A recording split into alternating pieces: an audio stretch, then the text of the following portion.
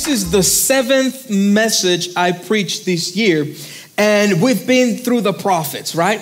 And the prophets had a message for God's people in, a, in times of need, in times of despair. God would raise up prophets to speak to his people. Now, there's this prophet called Jeremiah who spoke in a really tough time. And Jeremiah sometimes felt like the people were not listening. And he even argued with God and said, God, why are you telling me to say all these things? They don't even care. And he would argue with God and he would cry with God. And sometimes it feels like we have a mission to accomplish. But sometimes when you believe in God, you go through trials and tribulations and testing of your faith when it feels like maybe God is not on it. But sometimes the obstacles and the trials are proof that God is on it, right? And so, not every time that God sends you to do something, it will be easy. In fact, I would argue that every time is not gonna be easy. Uh, in this world, you will have trouble, right? Jesus said.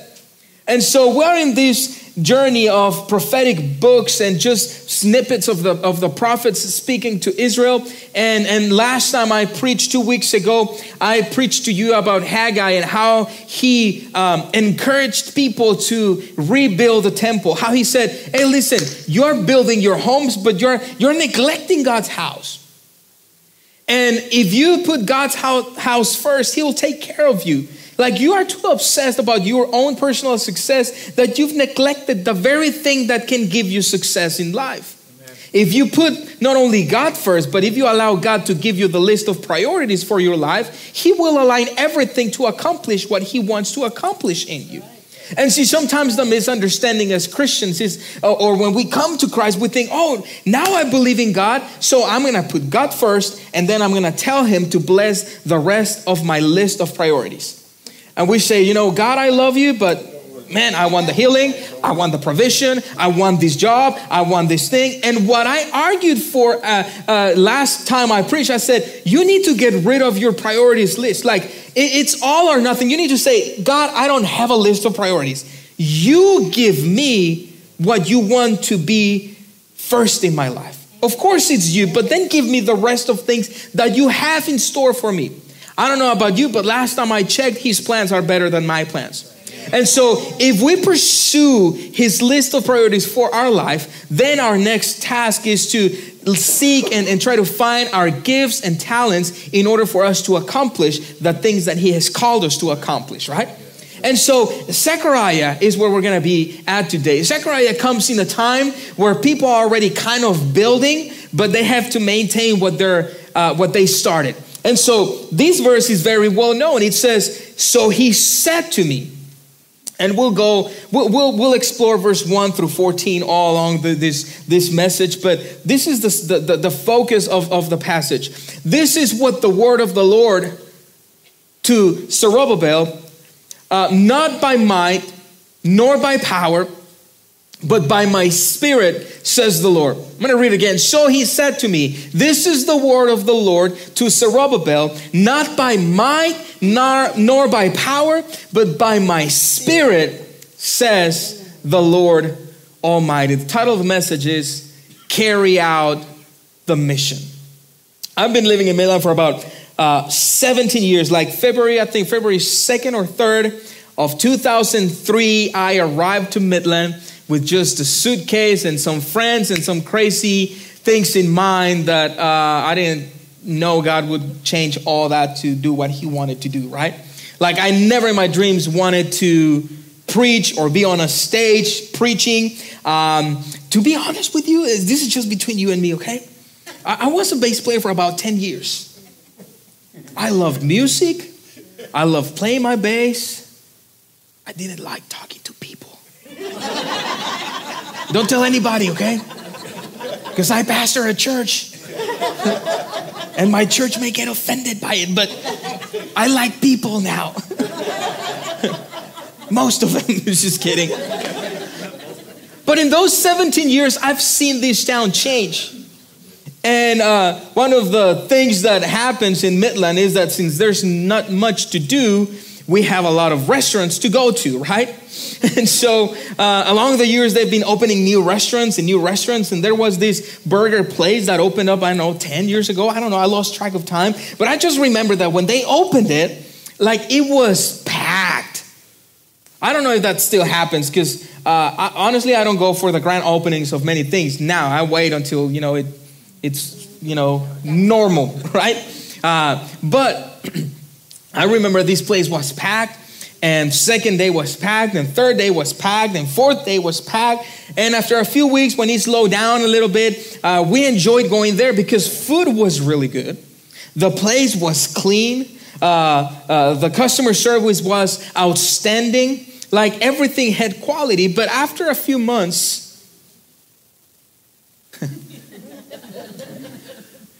seems like that happened quicker now than it used to be they couldn't keep up with it, right? They couldn't maintain the place clean. They couldn't maintain the customer service. They couldn't maintain the food quality. They couldn't maintain what they had started. And I don't know about you, but along the years, I've learned to appreciate more someone that can maintain something than someone that can start something. Because it's easy to get excited and start and have all dreams and have all ideas and have plans and gather friends and gather investors and go all in. And then, after opposition comes, after the trial comes, so many people give up. And I don't know about you, but even in our Christian walk, it's easy to go all in at the beginning and say, Oh God, I came to you and you answer, right? You healed me, you provided, you opened the door, you gave me, and then suddenly the fire to maintain his presence with us goes down. And we don't maintain what we started. And so Haggai inspired people to start building, to shift their focus from themselves into what really mattered. He said, You need to stop building your home and start building God's house. But Zechariah's um, calling was to help people maintain the momentum, right? You need someone that can carry out the mission that can maintain the, the level of excellence, the level of pursuit for the things that really matter. And so this was Zechariah, and Zechariah reminds us that God provides the resources for us to do his work. Yes, what God is calling you and me to do is beyond our abilities is beyond sometimes even our gifts and our talents and our resources. But what God calls you to do, He promises to provide for you to accomplish what you are supposed to accomplish by His Spirit. Does that make sense? Like the calling is great. You're called to be light in this world. You're called to be different in this world. You're called to set an example of forgiveness in this world. You're called to set an example of love in this world. You're called to set an example of commitment in this world. You're called to set up an example of faithfulness in this world. Is it easy? No, because everybody around us is giving up. They give up on relationships, they give up on parenthood, they give up on school, they give up on jobs, they give up on the quality of my hamburger when I go to that place. They they give up on church. But we're called to maintain, right? To pursue. And that was Zechariah's job. And today is kind of a different vision Sunday. Because this is one where we will be reminded and encouraged by the fact that God not only calls us to serve, but He equips us to fulfill that call. And sometimes it takes time. And sometimes it takes opposition. And sometimes it takes obstacles. But we live in a world where we want everything quick.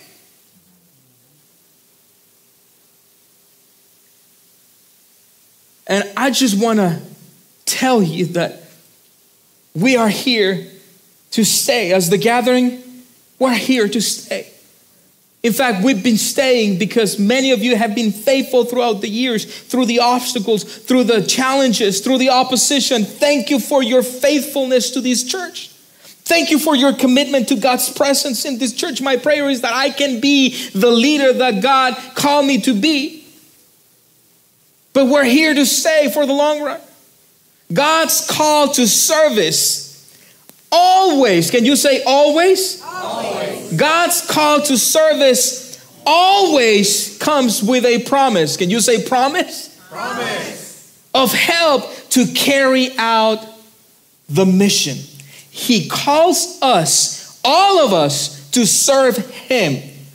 Now, I'm always emphasizing that the service is beyond the church. Of course, you are supposed to serve the church, but you're also supposed to serve Him where you work, where you study, where you handle relationships with your family, when you take your children to the soccer game. Everywhere you're supposed to serve Him, right? Amen. And you have the promise of help from the living God to carry out your mission. This week, as I said before, we left on Monday. On Friday, we went to a marriage retreat and seminar, and, and so we spent two nights at a hotel with, uh, uh, with, with several couples. We had a fantastic time. Then we came home for church, and then, uh, and then the next day we left again. And after a few days, even when you're out of town, you kind of like miss home, don't you? You miss your bed. I, I was looking forward to sleeping on my own bed.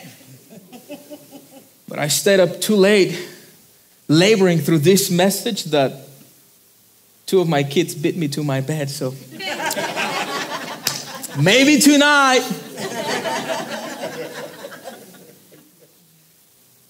Israel wanted to be back home. They had been in exile, they had been scattered left without a home and, and their exile period has come to an end. And Zechariah is saying, listen, you're coming back to your own town. And God is using a Gentile king to allow you to come back to your town because there were still under the ruling of a different king, not a, not a, not a Jewish king, but a, but a Persian king that, that said, You can come back to your land and okay, I'll grant you permission because God will use whoever He wants in order to accomplish His purposes in your life. Sometimes He uses the boss you don't like, sometimes He uses the friend you don't like. Sometimes he uses things that you don't even know that, that God is using in order to accomplish his purposes in your life. Now, if God is not using your boss on your behalf, maybe God is using you on someone else's behalf. Nothing wrong with it. We are all instruments in His hands. He will accomplish what He will accomplish. The question is will we get on His side or not? Will we trust Him with His plans or not? Will we rely on His sufficiency or not? Right? And so the calling today is to maintain what we start. And so uh, Israel uh, is, is given several prophecies. Uh, we read in Isaiah on the first week uh, of this year. I said, you know, Isaiah said, you know, it's been bad, there's been sin, but now, but now there's a new beginning. There is forgiveness. Like the penalty of your sin has been paid for. You are free. God has, uh, God is, is, is setting a new path for you in the middle of the wilderness, God has a new plan for you. And Isaiah gets them really excited. And he says, You have a future, you have hope, you have a land, you have a promise. God is restoring everything that has been lost.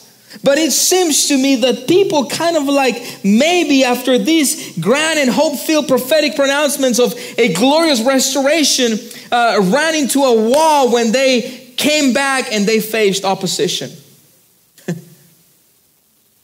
I wish once you come to Christ, you wouldn't have to cry anymore. I wish you wouldn't have to face opposition anymore. I wish the sickness would go away right away, right? I get somewhat troubled by statements that tell you that you can just decree whatever you want and it will happen because you want it to happen. That, that, that, that's a dangerous territory. My emotions can lie to me. I can't rely on my emotions. I have to rely on His Word. And, and everywhere I see in His Word, yes, I can speak some things to life, but I sometimes have to deal with some adversity in my life. But as long as He walks with me, Amen. as long as He is with me, Amen. I will fear no evil, right? Because the troubles are temporary. And so the post exilic population found out firsthand that there were obstacles and difficult challenges awaiting for those who desire to rebuild their lives according to God's purpose. In other words, they were called to rebuild the temple because the temple was an expression or a manifestation uh, or, or a statement to the community that they valued God's presence more than anything else, right? The temple was the dwelling place of the living God. And so they had to begin construction of a second house for God. And this became their main purpose once they returned. But they faced strong opposition. In fact, years after this passage that we're reading, they had already started rebuilding. But once they faced opposition and criticism from the people that were already in the land, scripture tells us that they stopped building for 17 years because of criticism, because of judgment from the people in the land. They felt intimidated. They felt that they didn't have what it take. And for 17 years, they went on a different route towards their purpose. 17 years they stopped building. Now, who is the temple of the living God in our days? We're called to rebuild the temple, right? right? To become a dwelling place. And sometimes we start really good, really solid. We read our Bible and then we get to a point like, man, I already read it all. I don't get it, right? Well, I go to church. I give. But there's not a burning desire to be who God calls you to be. And some Christians, for years, for years, for years have neglected their purpose and their mission because of opposition, because criticism will come. The enemy will point fingers at you. Your enemies will point fingers at you. But he takes courage, like Zechariah had the courage to say, Let's maintain this. Let's keep this going. Let's keep building. Listen, this church right here, not in this building, but it used to be on Wall Street, has been here since 1954. I've been pastoring this church for the last seven years, and we've never had opposition.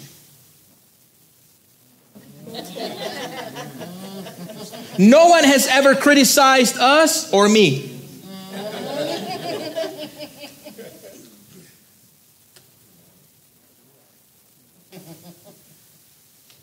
takes courage. Takes courage for you to stick around for the long haul. It's not easy. Sometimes the resources appear to not be there and then suddenly they come. Sometimes the people are not here. I'm like, what are we going to do, God? Why, why did you put me here? I didn't choose this, God. I trusted you with my list of priorities, and this is what you gave me, but why is it not doing what I wanted to do?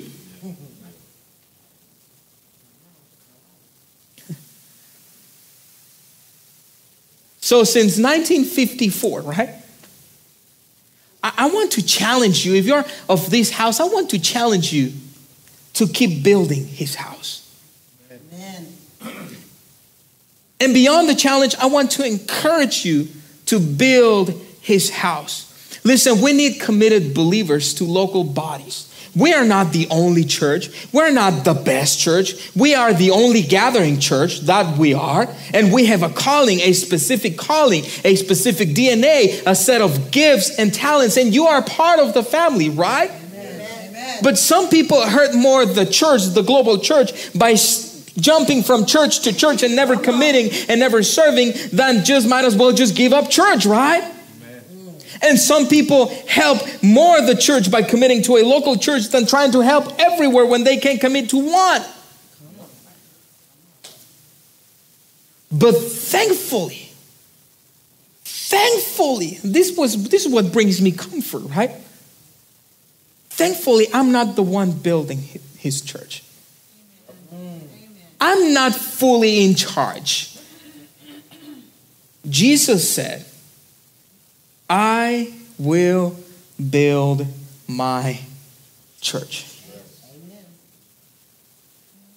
So, whatever comes, whatever trial, whatever criticism, whatever judgment we have to go through, whatever misinterpretation we have to go through, I'm anchored with my Jesus. We are anchored to our Jesus. He is the rock, He is the foundation of everything we do. So I say, let's keep building, right? Let's keep building. Let's keep building. We are the church, not the building. We are the church. Let's keep building together. Peter says that we're like living stones coming together, building God's temple. Yes, it's important to have a personal relationship. Yes, you can sometimes say, well, it's between me and God, but most of the times it's us and God. The people sees us, right? Together. How will they know? Because of their love to one another, right? We come together. Let's keep building this thing. Amen. Let's keep being the church that God called us to be. Yes, yes. And so Zechariah has a set of eight visions. And from verse 1 through 14, we're giving the fifth vision. And the vision uh, during these verses is, is the reminder is not to seek after past glories because many people get stuck in the past. Well, it's not like it used to be. Well, do you remember the revival? Or they compared to other places and, and we're pointing, and I wish I was there, and I wish we had that, and I wish we would have done that. And do you, do you remember when the miracles this? And do you remember when the word? And do, do you remember the songs? And do you remember? And do you remember? Do you, and all that shift of focus to the past or to other places makes us miss out on the glory that is here and now, on the fact that God's Spirit is here and now. Because the truth of the matter is that God has been faithful to you here and now. You can point to the past, yes. You can point to other places, yes. But all of us can point to a here and now where God has been faithful. Even with trials, even with tribulations, God remains faithful. He is good, right? He is good in the mountaintop. He's good in the valley. He's good in the pain. He's good in the joy. He's good in the suffering. He's good in the great times in our lives. He is God and He is good, right? And so Zechariah says you have to recognize the movement of God's Spirit among you to equip you to rebuild the temple. See, the reason God's Spirit is inside of you is not for you to just have fun with it. It's for you to keep building. It's for you to keep building. It's for you to keep building. It's for you to keep building. I wish I could go to the gym once and it would be effective through the whole year. That way I would just go January 1st of every year.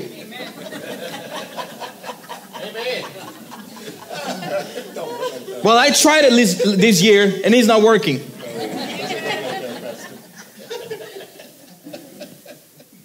Yes, He sanctifies us when we receive Him. Yes, He forgives us immediately. You are made new. Immediately, you are given a new heart. Immediately, He puts His Spirit inside of you, but He's not going to leave you the way He found you. He wants to change you and make you more like Him in order for you to experience the fullness of His good desires for your life. And some have been given tasks in this life that are troublesome. But we still can trust Him. We still can hope in the fact that He's seated on the throne. And so Zechariah says, Don't be living in the past, pay attention to the here. And now He's given you what you need to do, what you're supposed to do here and now. And so he begins in verse number one. He says, Then the angel who talked with me returned and woke me up. This is after the fourth vision, fifth vision. He kind of fell asleep because he probably was exhausted of so many visions. It's believed that the angel came and woke him up from a deep sleep, and he asked, he asked me, Zechariah says, What do you see? I answered, I see a solid gold lampstand with the bowl at the top and seven lamps on it, with seven channels to the lamps. Also, there are two olive trees by it, one on the right of the bowl and the other one on its left. I asked the angel who talked with me, What are these, my Lord? Now, pay attention to the back and forth with the question. He answered, Do you not know what these are? No, my Lord, that's why I'm asking you what these are.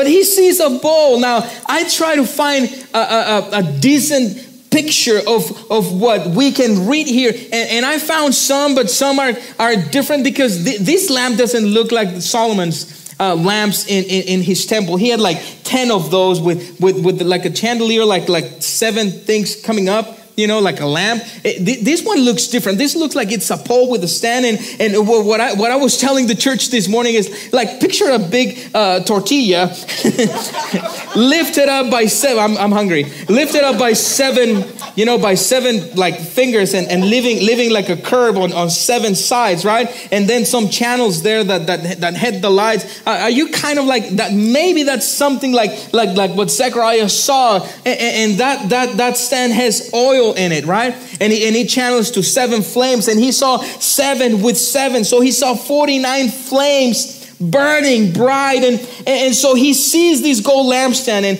and, not only the lampstand, but he's, he's surrounded by, by two olive trees. And so the purpose of such lamp, understand, was to spread light around, to illuminate a room.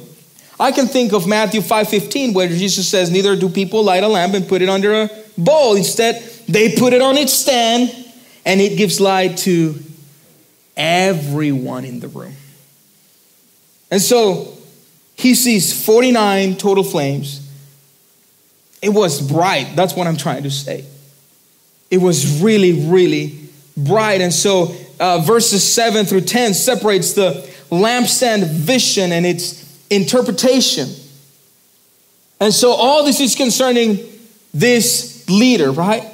The governor of Jerusalem, Zerubbabel, he's the community leader. He's the one charged with the task of rebuilding the temple. Haggai got them started. Zerubbabel maintains them, keeps them engaged in the mission. And so they face difficult circumstances. And, and the divine declaration to Zerubbabel begins with a promise. Aren't you thankful that when you go through tough times, God reminds you who He is? Here's the promise. On verse 6, He says, He said to me, This is the word of the Lord to Zerubbabel, not by might nor by power, but by my spirit, says the Lord Almighty. It promises that He will complete the task. It's saying, if you rely on me, you will. Like you will succeed. This is a promise that will be fulfilled. But he also explains that he will not accomplish it on his own strength or in his own power, but by his spirit. Now, this is the misconception that we sometimes have. Okay, since it's by the spirit, I'm just gonna sit down right here and wait for the spirit to do his magic. God, open the door, open the door. Well, uh, God says, Well, you know, I'll give you the strength to stand up and go and open the door for yourself, right? Zerubbabel is not, is not receiving a vision of like, oh, God will do it for us. No, he's saying, I will be empowered by the Spirit of the living God to do what he's telling me to do because on my own strength and on my own power, it seems impossible. We don't even have the resources we need in order to accomplish such mission. And so in verse 7, it says, What are you, mighty mountain? Before Zerubbabel, you will become a level ground. Then he will bring out the capstone to shouts of God blessed, God blessed. And so in verse 7, the divine proclamation turns from promise to a description. It's a promise. You will do it not by your strength or your power, but by my spirit. Now, let me tell you what it will look like. Like, if you allow me to work through you, this is what it will look like, right? In verse number 8 says, Then the word of the Lord came to me. The hands of Zerubbabel have laid the foundation of this temple. His hands will also complete it. Then you will know that the Lord Almighty has sent me to you. Who dares despise the day of small things. Since the seven eyes of the Lord that range throughout the earth will rejoice when they see the chosen capstone in the hand of Zerubbabel. So, verse 7 through 10, it's an ancient foundation for a ceremony uh, that, that implied, uh, or it was like a ritual of, of the rebuilding of the temple. And it was typically performed by the king. And so Zerubbabel, in the vision, he's told he will place the capstone on the construction while the people pronounce blessings on it. It is finished, it is completed. But after a second promise, that he will succeed with the Spirit's help, verse 10 describes another part of the foundation of the ceremony. It, it, describes that, that he's holding an instrument in his hands for the people to see. And the purpose of this tool was to measure the temple walls for true alignments. It's not only finished, it's finished well. I'm not committing to follow Christ just half heartedly. It's all or nothing. I want to be aligned. The reason he needed to be aligned is because it would be a statement to the community that they were doing things good for God because God deserved the best. It's one thing to say I'm a Christian. It's one thing, it's a different thing to be a committed Christian, right? You have to demonstrate your alignment. You know why the world sometimes don't believe us anymore? Because we're not fully aligned. We say one thing, but we do another thing. We proclaim one thing, but we behave in a different way. We have to be aligned. We have to allow Christ to finish the work in our lives by constantly allowing Him to align us to His will and His desires. I'm not saying you have to be perfect overnight. I'm just saying you have everything you, be, you need to be perfect today. Like what you know about God today is enough for you to live in all the light that you have been given. And the more you walk in the light that you have today, the more light He will give you to keep pursuing after His plans and desires for your lives. Alignment. It will not only measure the walls, it will have the effect of inspiring confidence in those who see them. They would fulfill their purpose. It would be a place where God's presence would dwell. How do people see God today in our world? In the clouds? No, that's just a reflection. In the mountains? No, that's a reflection of His glory. That's not. Where do people find God in our world, in our world today?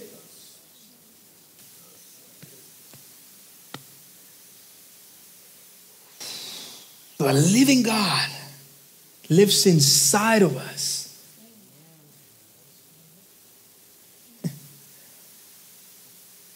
Verse 10 ends with a reference to the seven eyes of the Lord, which mainly tells us that God is omnipresence, that He knows all things, that He not only is everywhere, but He's aware of everything and He knows all things. He's not concerned about the economy, He's not concerned about the resources, He's not concerned about coronavirus, He's not concerned about anything happening in this world. He's fully aware and fully in control. Amen. The question is are we worshiping Him constantly? Are we becoming day after day the temple where His presence can dwell? And so, these people right here, they did not have the access or the kind of resources to build the kind of temple that Solomon built. But Zerubbabel tells them, You don't need to worry about that. You worry about today. Do not despise the days of small beginnings, of small things. The economy of that region was very small. They, they, they, it extended no further than 15 miles in any directions from Jerusalem. They struggled because it was dry and there was a heavy taxation.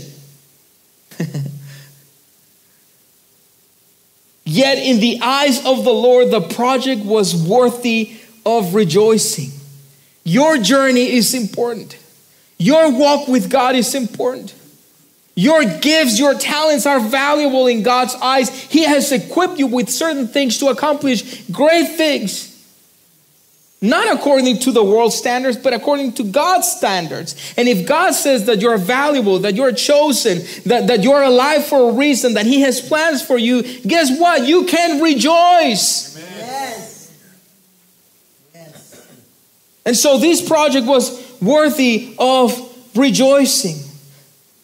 Verse 11 through 14 Then I asked the angel, What are these two olive trees on the right and the left of the lampstand? Again, I asked him, What are these two olive branches beside the two gold pipes that pour out golden oil? He replied, Do you not know what these are? Don't you like the conversation?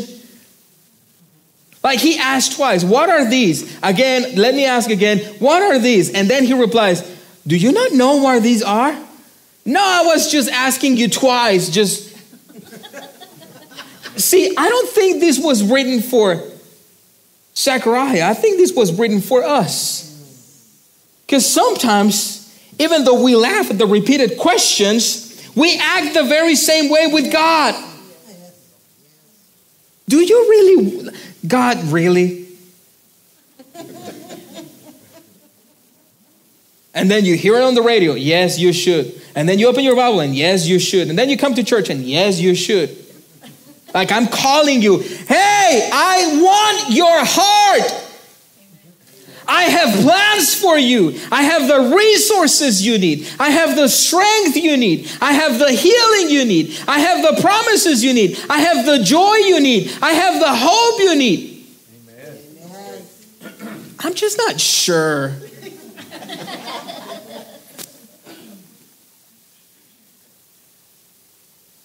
he wondered if other details of the vision were important to understand. In verse 14, so he said, These are the two who are anointed to serve the Lord of all the earth. He asks twice about the olive trees. If the team can start coming, please. Now, the second time adds a detail because it says that the two gold pipes are connected to the lampstand. And this suggests that there is a constant flow of oil running between the two. They keep refilling the stand to keep the flame burning. As if the trees were providing an inexhaustible resource of oil for the lampstand. And so the prophet's question was about what or who would supply this constant flow to the burning lamp. Now, the angel never says, but it is reasonable to assume that the light of the lampstand symbolizes the testimony of God's temple to the world. How bright is your light? How bright is your flame? How constant is your flame? How are you maintaining your flame? Because it's easy to come and turn it on on Sunday, right? But everybody can start something. The goal is to maintain it. Amen. From this building that they were building, the people of God would become or could become a light for the Gentiles.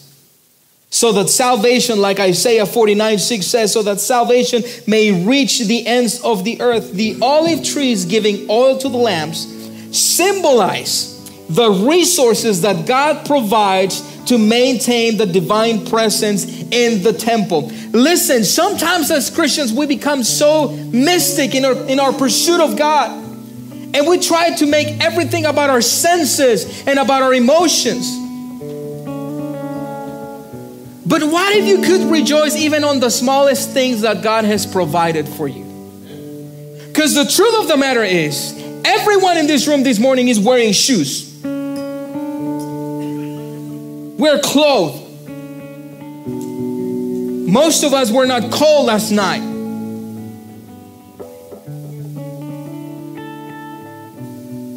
A job, money, much or little in the bank food on our table. But keep, we keep wanting to feel something when maybe I could just be thankful that I can sit on a cushioned chair on Sunday morning and enjoy God's presence.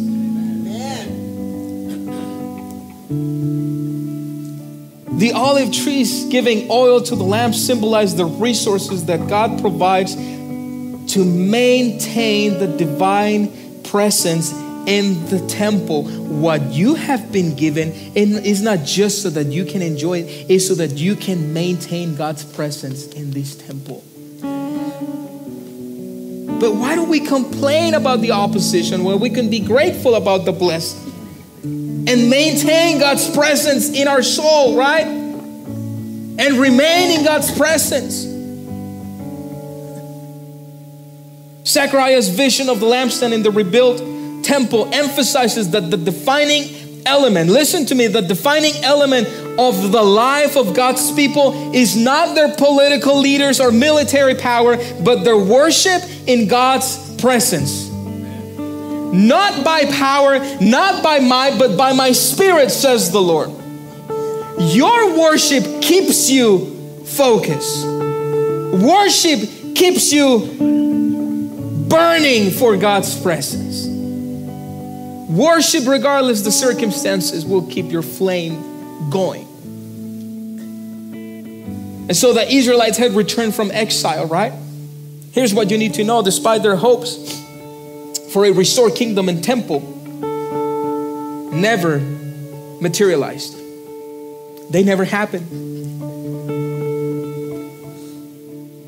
Zechariah's vision painted a beautiful picture of a restored temple and lit the world with the presence of God, but this vision did not fully come to fruition before the closing of the last chapter of the last book in the Old Testament.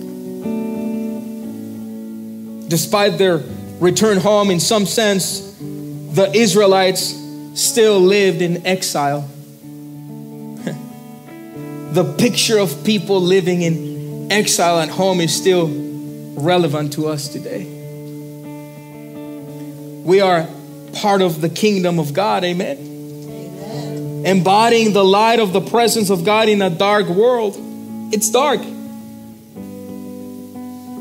And Zechariah's vision was concerned on multiple levels. It, pointed to the temple that Zerubbabel would complete, but it would also speak about the coming Messiah and, and the people of God living today and ultimately to the final establishment of God's kingdom, where according to Revelation 22 5, they will not need the light of a lamp or the light of the sun.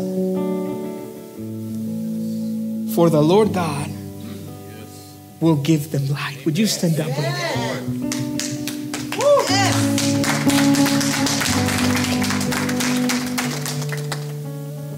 Our job is to keep that flame alive until His return. I believe God has placed us in this community to bring people to the knowledge of who He is. But our programs won't do it. Anybody can pack a place with good entertainment. I want God's presence to dwell in this place. We want to see people being healed, being delivered, being restored, being given purpose. We are all about experiencing God, about finding community, about fulfilling our purpose. All those principles become nothing if God is not in it, right? I want you to consider areas in your life where resources may seem insufficient in order for you to accomplish what you know you're supposed to accomplish and now be reminded that God promises to give you what you need the strength, the resilience, right? The courage. The lamps needed a continual source of fuel to keep burning. What are you going to do to keep your flame burning? The lamps represented God's presence in the world. And in Matthew 5 14, Jesus said, You are the light of the world. He said, A town built on a hill cannot be hidden. Neither do people light a lamp and put it under a bowl. Instead, they put it on its stand, and it gives light to everyone in the house. In the same way, let your light shine before others that they may see your good deeds and glorify your Father in heaven. How do people around us experience the presence of God through our lives?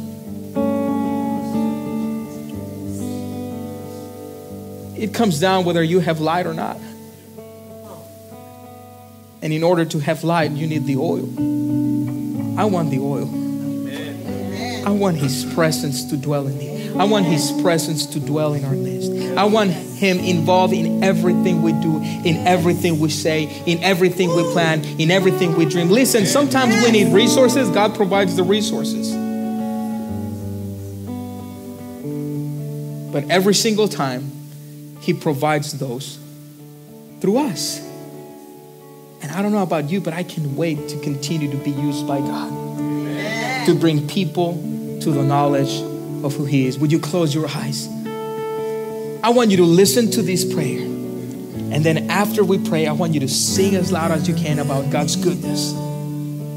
This is our prayer. Dear Lord, thank you for your provision. We cannot do the work of your kingdom in our own strength. So, Lord, my prayer is that you give us eyes to see as you do the small things that will show your presence to the world as we stay faithful. Let us not grow weary in doing good. Help us to keep encouraging one another in Jesus' name. And the church says, Amen. Now give God praise and sing as loud as you can.